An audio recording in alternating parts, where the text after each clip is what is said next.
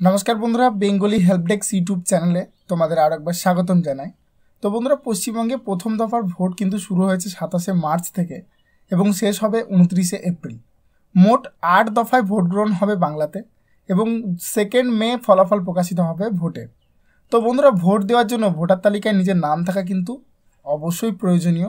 তো এই মতো অবস্থায় ভোটার তালিকায় তোমার নাম রয়েছে কিনা তা কীভাবে চেক করবে? এর আগে আমরা দেখিয়েছিলাম অনলাইনে কীভাবে ভোটার তালিকায় নাম রয়েছে সেটা চেক করবেন। তো সেই প্রসেসের উপর ভিডিও অলরেডি আমরা দিয়েছি। তো সেই ভিডিওর লিঙ্ক আমি ভিডিও নিচে ডিসক্রিপশনে দিয়ে দেবো বা উপরে আই বাটনেও আপনারা পেয়ে যাবেন। তো আজকে এই ভিডিওর মধ্যে আমরা দেখাবো কীভাবে ফোন থেকে এস এম এসের থ্রু অর্থাৎ আপনার মোবাইলটিকে ব্যবহার করে উইদাউট ইন্টারনেট কোনো রকম ইন্টারনেট কানেকশন ছাড়াই ফোন থেকে এস এম এসের থ্রু আপনি কী করে জানবেন যে আপনার ভোটার তালিকায় নাম রয়েছে কিনা। তো চলুন সরাসরি মোবাইলে স্ক্রিনে চলে যাব এবং সেখান থেকেই দেখে নেব।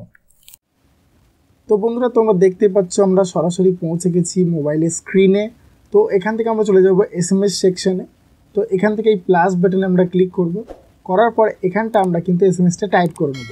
তো এস এম এসের এখানে আপনাকে টাইপ করতে হবে বড় হাতের W B space E C space then তোমার যে ভোটার ইলেকট্রাল নাম্বার সেই ভোটার ইলেকট্রাল নাম্বারটা এখানে তুমি টাইপ করে দেবে।